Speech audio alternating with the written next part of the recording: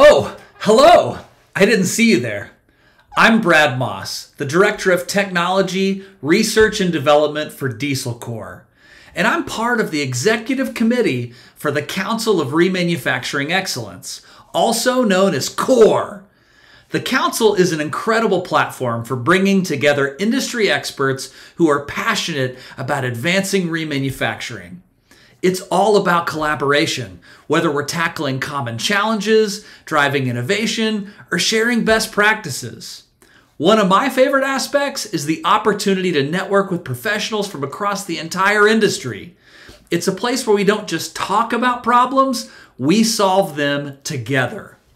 If you're looking to be part of a forward thinking, problem solving community in remanufacturing, this council is the place to be. We'll see you on the next meeting.